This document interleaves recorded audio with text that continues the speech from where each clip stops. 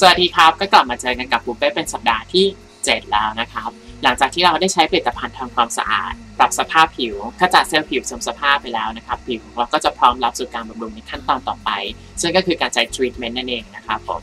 ทำไมเราถึงจำเป็นต้องใช้ทรีทเมนต์ด้วย และวิธีการเลือกทรีทเมนต์ที่เหมาะกับตัวเราเองเนี่ยมันมีขั้นตอนยังไงบ้างนะครับรายละเอียดต้องขอติดตามชมกันเลยครับ ทุกคนนะครับเคยได้ครอบครองผิวสวยสมบูรณ์แบบในอุดมคติอย่างน้อยครั้งหนึ่งในชีวิต นั่นก็คือตอนที่เราเป็นเด็กนั่นเองนะครับย้อนเวลากลับไปดู ทุกคนเนี่ยก็จะเคยมีผิวที่เรียบเนียนสม่ำเสมออ่อนนุ่มชุ่มชื้นนะครับปราศจากริ้วรอยตำหนิใดๆบนผิวเลยเนี่ยถ้าเกิดเรามีผิวอย่างนั้นได้ตลอดนะครับ การใช้ทรีทเมนต์เนี่ยเป็นสิ่งที่ไม่จำเป็นเลยนะ แต่ก็อย่างที่ทุกคนได้เห็นกันนะครับกับตัวเองก็คือความสมบูรณ์แบบนั้นไม่ได้อยู่กับเราตลอดไปนะครับผมทันทีที่พออายุเราเริ่มขึ้นสู่ช่วงวัยรุ่นนะครับช่วงที่ฮอร์โมนของเรากำลังทำงานเนี่ยก็ 80%จะมีปัญหาในเรื่องของสิวผิวมันดูกลุ่มขนกว้างใช่ไหมครับนั่นคือปัญหาแรกที่เราได้เจอ อายุเยอะขึ้นไปหน่อยใช่ไหมครับห่างปราศจาก การปกป้องผิวจากรังสี UV ที่ดีนะครับ อาจจะมีปัญหาในเรื่องของฝ้ากระจุดด่างดำตามขึ้นมาอีกนะครับผมและอายุที่เพิ่มขึ้นไปอีก ก็จะมีปัญหาในเรื่องของริ้วรอย ความหย่อนคล้อยขาดความกระชับนะครับสีผิวไม่สม่ำเสมอต่างๆนะครับตามขึ้นมาอีก จะเห็นได้ว่าแต่ละคนเนี่ยนะครับแต่ละช่วงวัยจะมีปัญหาหลักๆ ที่ค่อนข้างจะแตกต่างกัน และมีปัญหาที่ต้องการดูแลด้วยผลิตภัณฑ์ที่แต เช่นกัน ดังนั้นเนี่ยนะครับปูเป้ในวันนี้เนี่ยก็จะพยายามจำแนกเป็นช่วงๆให้เนี่ยนะครับว่าผิวแต่ละช่วงเนี่ยจำเป็นจะต้องใช้ทรีทเมนต์ที่มีส่วนผสมหลักตัวไหนนะครับแบบคร่าวๆเอาไว้ก่อน เพราะว่ารายละเอียดที่ค่อนข้างจะเจาะลึกนะครับ มันจะยาวมากเลย ซึ่งปูเป้จะมาจำแนกเป็นส่วนผสมทีละตัวให้อีกครั้งหนึ่งในช่วงท้ายๆนะครับ ซึ่งยังไงก็ต้องคอยติดตามกันครับ การดูแลผิวในวัยเด็กด้วยการใช้ทรีทเมนต์เซรั่มหรือ concentrate นะครับเป็นเรื่องที่ไม่จำเป็นอย่างยิ่งเลย เพราะว่าผิวของเด็กเนี่ยมักจะไม่ค่อยมีปัญหาอะไรอยู่แล้ว และมีการซ่อมแซมตัวเองดีตามธรรมชาติอยู่แล้วนะครับ แต่ สิ่งที่ขาดไม่ได้เลยสำหรับผิวเด็กเนี่ยก็คือการใช้ครีมกันแดดเป็นประจำทุกวัน เพราะว่าความเสียหายจากแสงแดดนะครับจะเป็นลักษณะของการสะสมนั่นเอง หากคุณพ่อคุณแม่คุณไหนนะครับผมได้ดูคลิปอันนี้เนี่ยก็พยายามกระตุ้นนะครับให้คุณลูกที่น่ารักของเราเนี่ยทาครีมกันแดดเป็นประจำทุกวันด้วย โดยเฉพาะอย่างยิ่งวันที่ต้องทำกิจกรรมกลางแจ้งอย่างเช่นวิชาพละ หรือการเล่นกีฬาสีนะครับผม การดูแลผิวเป็นพิเศษในช่วงวัยรุ่นเนี่ยนะครับผมนอกจากปัญหาในเรื่องของสิวแล้วเนี่ยวัยรุ่นแทบจะไม่มีปัญหาผิวอื่นๆเลยนะไม่ว่าจะเป็นในเรื่องของริ้วรอยในเรื่องของความหย่อนคล้อยนะครับไม่มีแน่นอนอยู่แล้ว ต่อให้เป็นในเรื่องของจุดแดงรอยแดงรอยดำเนี่ยนะครับผมที่มาจากสิวก็จะหายได้เร็วมาก เพราะว่าวัยรุ่นนะครับจะมีการซ่อมแซมตัวเองที่ค่อนข้างดีนะครับ ดังนั้นการใช้เซรั่มบางครั้งเนี่ยอาจจะเป็นเรื่องที่เกินความจำเป็นไปหน่อยนะครับ โดยเฉพาะ anti aging serum ราคาแพงๆนะครับผมไม่สนับสนุนให้ใช้นะครับ เพราะว่าเด็กยังหาเงินเองไม่ได้แน่นอนเนาะแต่ถ้าเกิดจำเป็นอยากจะใช้จริงๆเนี่ยนะครับหรืออยากจะดูแลผิวจริงๆเนี่ยแนะนำให้ใช้เป็นพวก antioxidant serum นะครับที่จะช่วยในเรื่องของการ maintain ผิวนะครับบำรุงผิวช่วยในเรื่องของการชะลอการเกิดริ้วรอยและความเสียหายที่จะเกิดขึ้นในอนาคตจะดีที่สุดครับ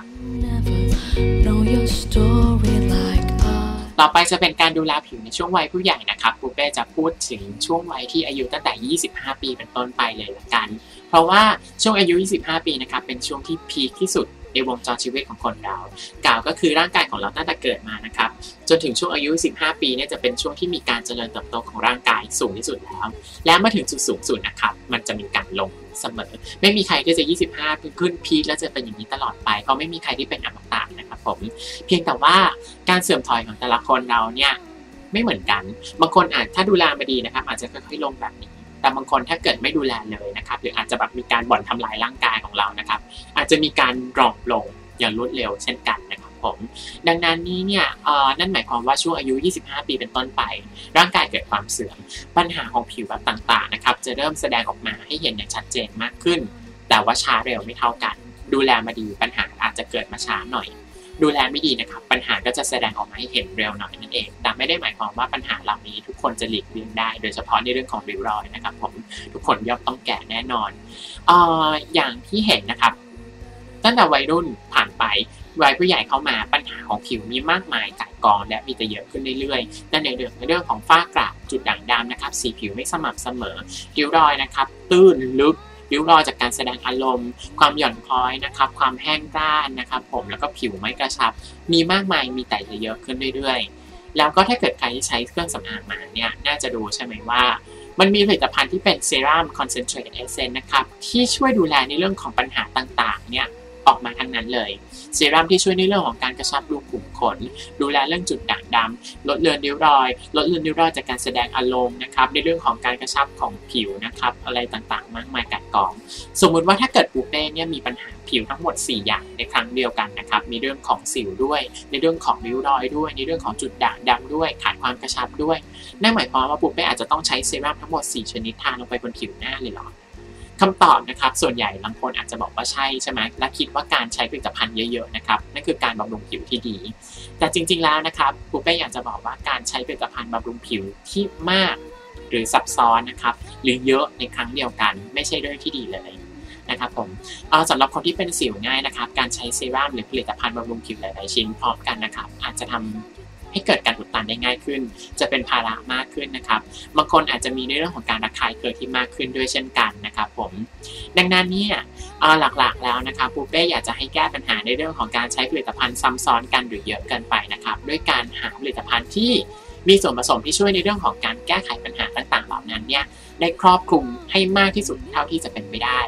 คือมันคงไม่มี miracle ingredient ตัวไหนที่จะช่วยแก้ปัญหาของผิวได้ทั้งหมดหรอกนะครับ แต่ว่าอย่างน้อยเนี่ย ก็จะมีส่วนผสมที่มีคุณสมบัติมากกว่าหนึ่งอย่างอย่างแน่นอน ก่อนที่เราจะเลือกซื้อเลือกใช้ผลิตภัณฑ์ประเภทเซรั่ม treatment essence หรือ concentrate หรืออะไรก็แล้วแต่นะครับปูเป้อยากจะให้ทุกคนใช้เวลานิดนึงนะครับลองศึกษาข้อมูลเพิ่มเติมว่าส่วนผสมของ active ingredient หรือสารออกฤทธิ์หลักของเขาเนี่ยนะครับ คือส่วนผสมที่ชื่อว่าอะไร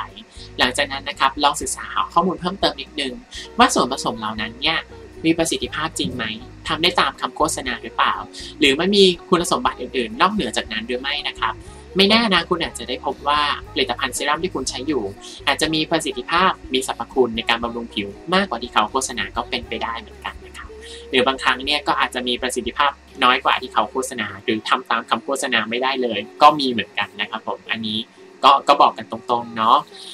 ในเรื่องของสาร active ingredient เนี่ยมีค่อนข้างเยอะมากในวงการเครื่องสำอางนะครับ แล้วก็มีส่วนผสมใหม่ๆเกิดขึ้นทุกวันตามเทคโนโลยีที่เพิ่มขึ้น แต่ไม่ต้องห่วงนะครับบูเป้เนี่ยหลังจากช่วงจบ basic skin care สเต็ปต่างๆนะครับผมจะมาเจาะลึกส่วนผสมแต่ละตัวให้ดูเลยว่าเอ๊ะส่วนผสมของสาร active ตัวนี้นะครับมีประสิทธิภาพอะไรบ้างน่าสนใจยังไงนะครับผมให้ทุกคนได้เก็บเป็นข้อมูลเอาไว้ เพื่อที่จะได้เลือกผลิตภัณฑ์ ให้ตัวเองได้เหมาะสม และก็ตรงกับความต้องการได้ง่ายขึ้นในอนาคตนะครับผมสำหรับคราวหน้าเนี่ยจะเป็นเรื่องอะไรเนี่ยปูเป้ก็ต้องขอให้ทุกคนเนี่ยคอยติดตามกันต่อไปนะครับสำหรับคลิปนี้ปูเป้คงต้องขอลาไปก่อนบ๊ายบายค่ะ